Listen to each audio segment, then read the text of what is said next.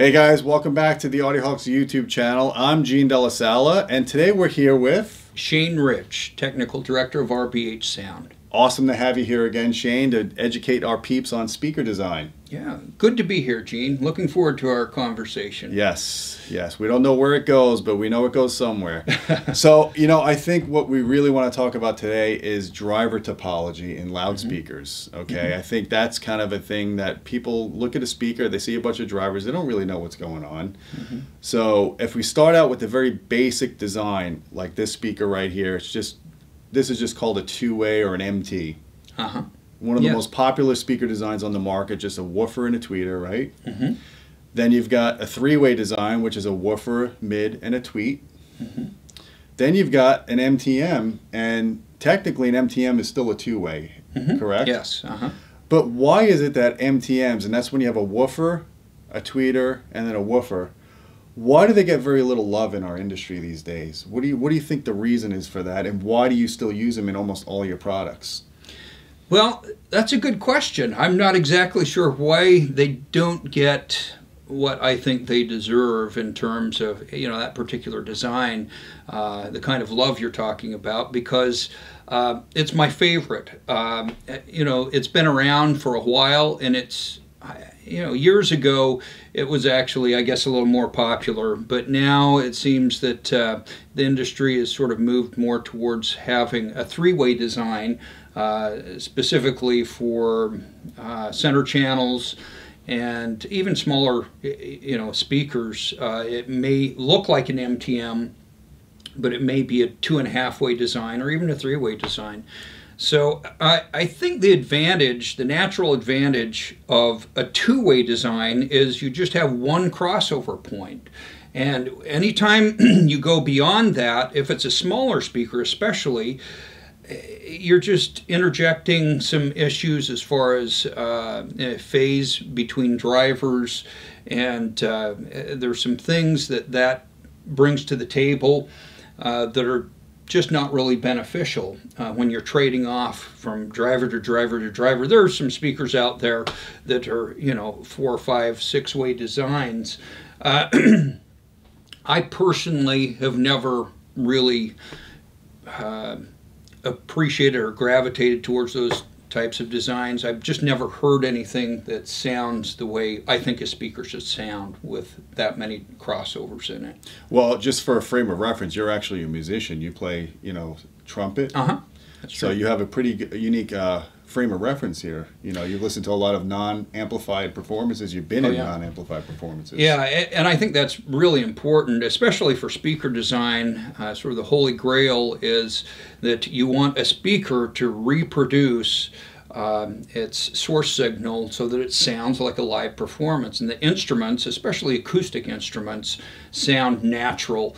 In other words, a violin should sound like a violin, not a right. viola uh, a clarinet like a clarinet and not an oboe and so forth you know. So I, that's been sort of my frame of reference uh, having uh, you know had a lot of experience in uh, musical groups. So I, I, think that ultimately that's what I use with our product design to to really judge if the product is sounding the way it should as if it can reproduce natural instruments um, and they sound like they're really there in the room.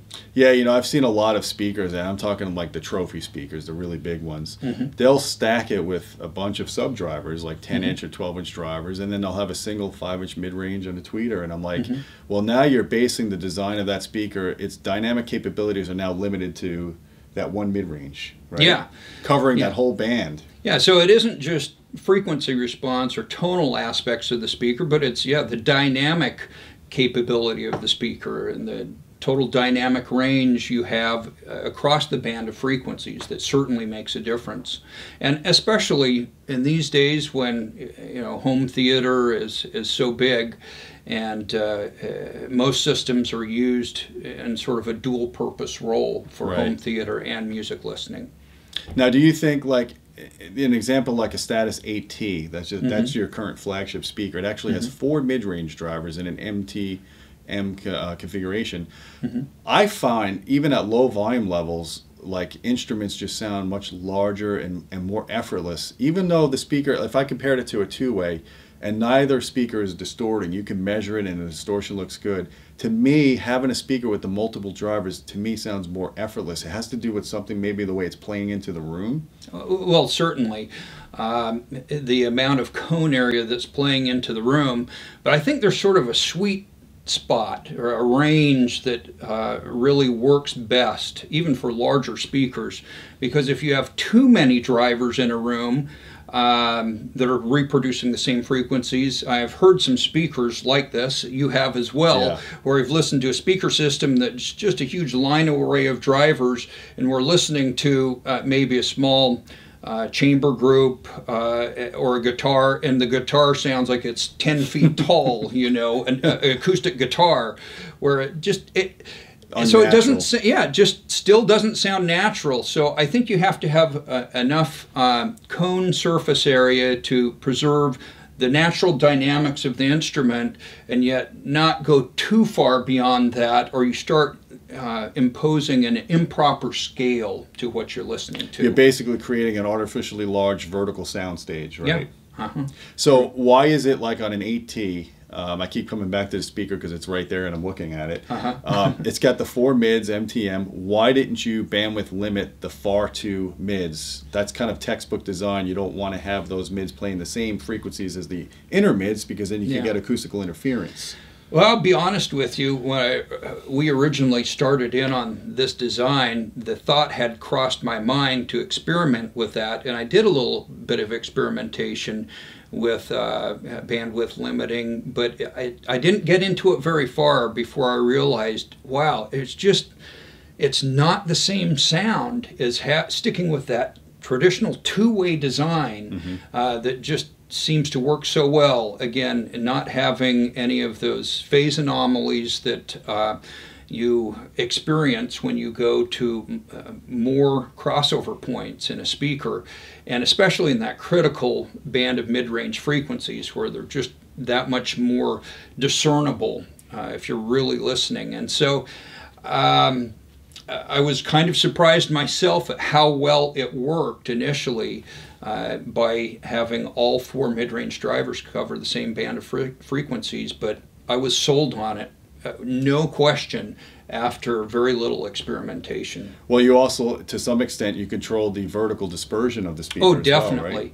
absolutely. It certainly factors in, helps in that regard, where you have uh, fewer floor and ceiling reflections. Uh, you're getting more direct sound mm -hmm. from the speaker at the listening position versus reflected sound. I gotcha.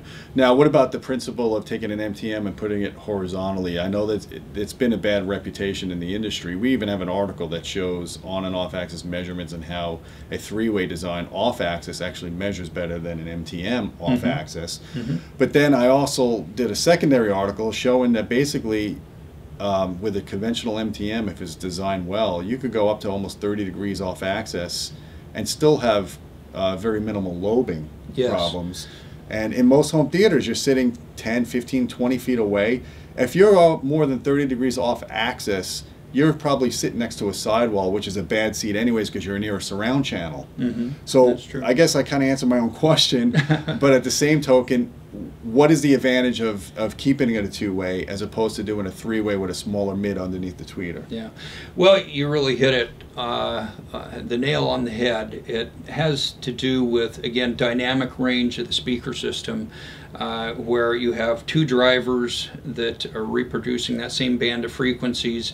If you can do that without some real lobing issues, then why not do it? You know, why not give your speaker that kind of output so that I, I don't think we really, unless you've heard a, a speaker system that has a wide dynamic range, uh, you know, and you're used to just generally listening to a very small speaker, um, you, you, don't know what you're missing. Yeah. Uh, you've got to experience that. And so I know it's a design trade off uh, readily accept that, but that's the direction we've chosen to go because, it, again, if you're not really far off axis and you design the speaker you know correctly and have a good crossover design you're going to have minimal lobing issues within that like you said 20 30 degree uh, range of uh, off axis response.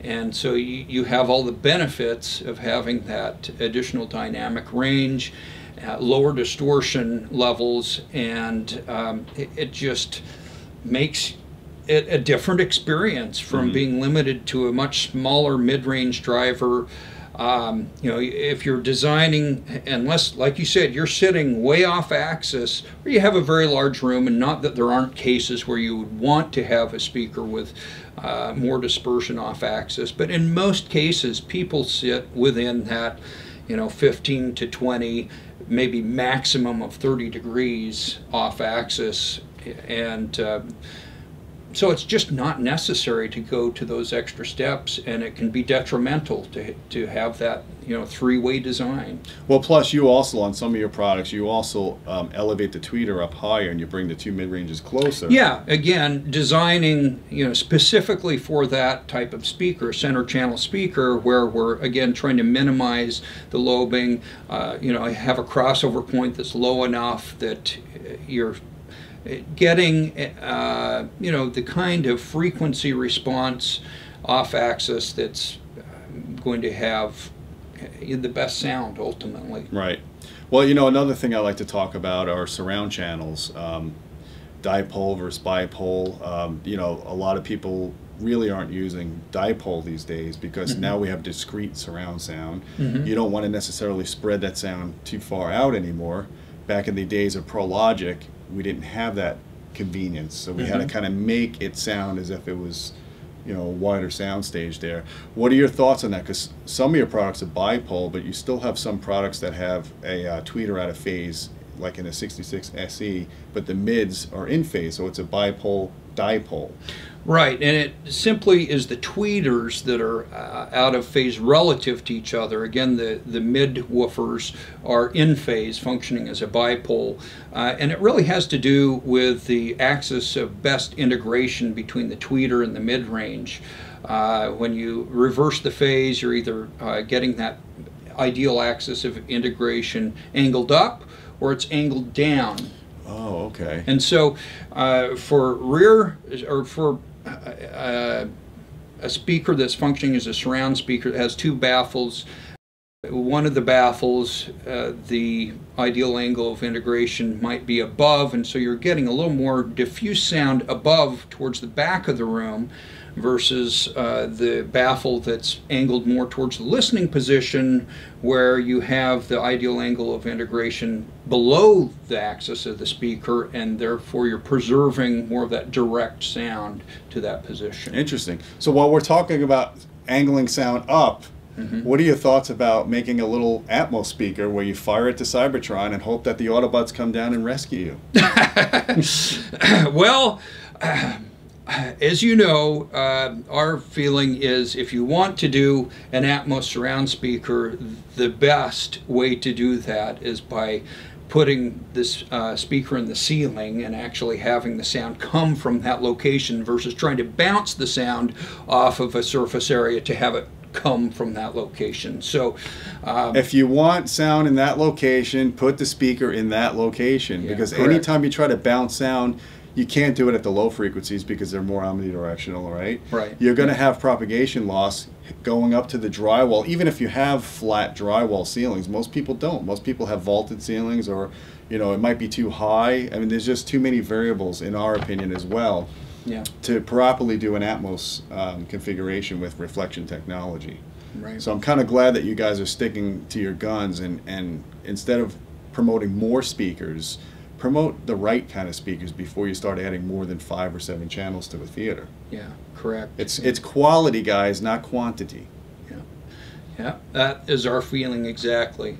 Now I will tell you guys, we listened to their demo at CEDIA. It was a 7.2.2 hmm. demo, and for their Atmos channels, they only use two channels. They only used two speakers. They used a bipole speaker, and I thought it was fantastic. You put a what in the middle of the room, right on the mm-hmm. ceiling. Mm-hmm. Yes. And because of the dipole nature, you created a much more diffuse sound field. It almost sounded like there were four speakers. It was very even coverage across the two rows of seating. Yeah, and again, it, I'll be honest with you, it was an experiment on our part. It's the first time that we have uh, done a an Atmos system with those particular speakers, uh, but we decided, hey, let's let's see how this works because there actually is a method to the madness there, given the radiation pattern of that specific speaker and the way um, the two the two uh, baffles are actually uh, sort of offset or they mirror each other. One is is giving you more uh, dispersion uh, towards the uh, the screen, and the other one's giving you more dispersion towards the back of the room, mm. as well as uh, the angle on the speaker, which is giving more direct radiated sound towards the listening position than another baffle, which was uh, more off of the wall, the side wall. So it was more of an ambient effect, but it, it really was very good. We were very pleased with the result we were getting.